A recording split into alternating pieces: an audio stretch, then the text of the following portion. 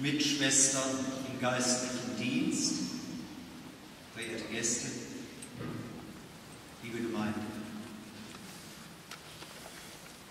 Manchmal werde ich gefragt,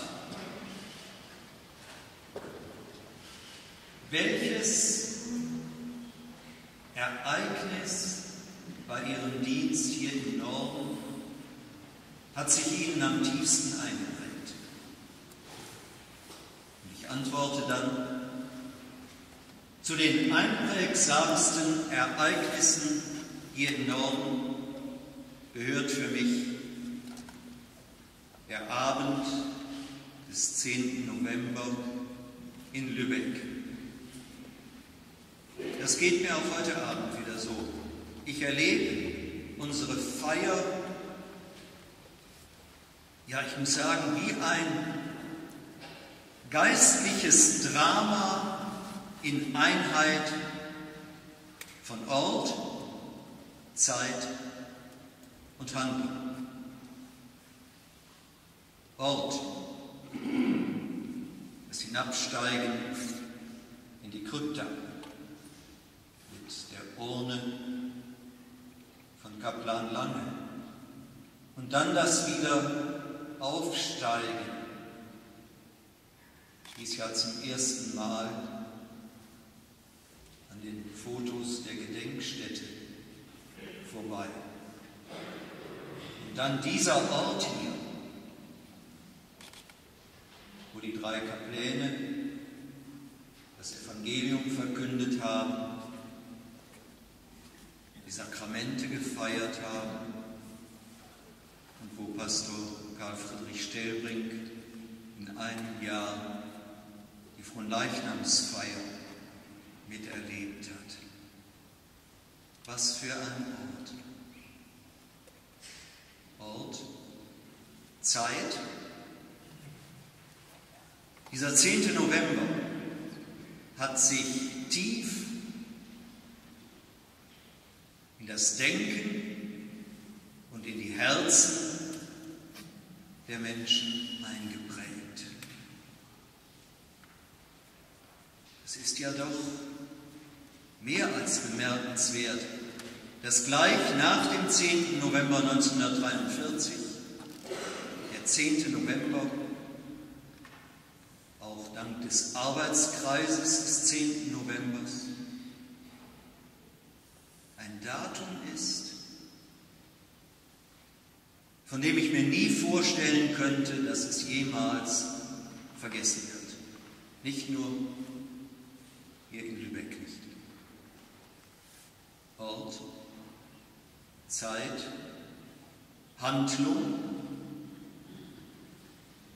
die Verkündigung des Martyrologiums, da läuft mir jedes Jahr wieder neu ein Schauer über den Rücken. Vielleicht kann man es in der Verkündigung demnächst auch noch steigern, wenn es gesungen wird. Und dann hier die Feier der Eucharistie. Ort, Zeit und Handlung. Natürlich muss man sagen, dass es Gott sei Dank noch mehr Orte des Gedenkens gibt. Ich denke da zuerst an die Lutherkirche der Urne von Karl Friedrich Stellbrink. Ich denke an die Zellen im Gefängnis Burgkloster, wo ich vor Jahren einmal mit einigen von Ihnen das Gebet von Eduard Müller gebetet habe. Ich denke an die Todeszellen Gefängnis Holstenglassie in Hamburg, wo ich vor wenigen Tagen war. Da sitzen in der Todeszelle und sich bewusst machen, was da vor 70 Jahren war. Und dann der Gang, soweit das wegen Umbauten heute noch möglich ist. Letzte Gang unserer vier Märtyrer zur Stelle, wo das Fallbeil stand. Diese Stelle ist heute durch eine Tafel markiert. Man könnte noch viele Orte nennen. Ich denke an den Dom von Osnabrück, wo die drei Kapläne Priesterweihe empfangen. Und es ist gut, dass es so auch noch viele, viele andere Orte gibt. Und was die Zeit betrifft, der 10. November wird immer bleiben. Nach der Seligsprechung gibt es noch einen anderen Zeitpunkt, den 25. Juni, wo die Märtyrer in den Gedenktafeln der katholischen Kirche aufgezeichnet sind. Und es gibt auch manche, das höre ich immer wieder mit Freude, die den Geburtstag des einen oder anderen der vier Märtyrer begehen oder den Tag ihrer Priesterweihe. Wir können gar nicht genug an unsere Märtyrer denken. Wir brauchen ihren Mut und ihr Gottvertrauen. Ort, Zeit und Handlung. Seit 1944 ist Jahr für Jahr hier in der Herz-Jesu-Kirche im Gedenken an unsere vier Märtyrer die heilige Messe gefeiert worden.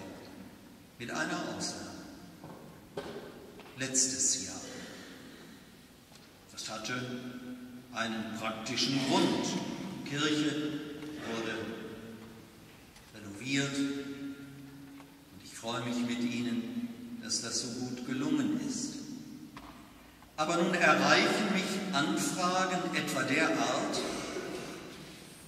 ist nicht eine Feier, wie wir sie letztes Jahr gehalten haben, als Wortgottesdienst, ist das nicht die richtigere, angemessenere Art der Feier? Und mich erreichen Anfragen, die genau das Gegenteil sagen. Es kann doch nicht sein, dass das nicht mehr eine Eucharistiefeier wäre am Abend des 10. November, wo doch die Kapläne äußerst dankbar waren, dass die tüchtige, beherzte Haushälterin Johanna Rechtin, dass sie Hostien und Wein ins Gefängnis geschmuggelt hat, damit sie dort der geheimen Eucharistiefeier aus der Kraft der Eucharistie leben konnten. Und dann gibt es auch Stimmen, die mich erreichen, die sagen, was war das schön damals, 2011, im Jahr der Seligsprechung und des ehrenden Gedenkens, dass wir zwei Feiern hatten. Die eine in der Lutherkirche, mit katholischer Beteiligung selbstverständlich, die andere auf der Parade, mit evangelischer Beteiligung selbstverständlich. Und so ähnlich war es ja, der Propst hat es genannt vorhin, auch heute, heute Morgen, der Gottesdienst in der Lutherkirche, wo der Propst eine Lesung vorgetragen hat und unter Beisein katholischer Christen. Und hier heute Abend, wo die Pastorin Oldendorf eine Lesung vorgetragen hat und mit Beteiligung evangelischer Christen, kann sowas auf Dauer die richtige Form sein. Ich habe den Vorstand unserer Stiftung Lübecker Märtyrer mit ihrem Leiter, Domkapitular Thomas Benner, beauftragt, in einem ausführlichen Gesprächsprozess die Frage zu klären, was ist demnächst auf Zukunft hin die richtige Form des ökumenischen Gedenkens.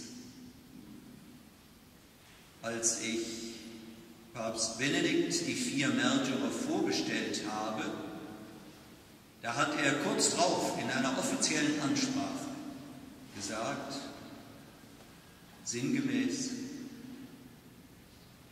ich bewundere ökumenische Gemeinsamkeit der vier Märtyrer als eine Gemeinsamkeit der Ökumene im Gebet und im Leiden. Im Leiden. Mir geht dabei durch den Sinn, dass darin auch enthalten sein kann, dass wir uns als leider immer noch getrennte Kirchen leiden können müssen. Manchmal habe ich den Eindruck, uns trennt gar nicht mal nur immer Theologisches, sondern auch, ja wie soll ich sagen, Psychologisches, Gefühlsmäßiges.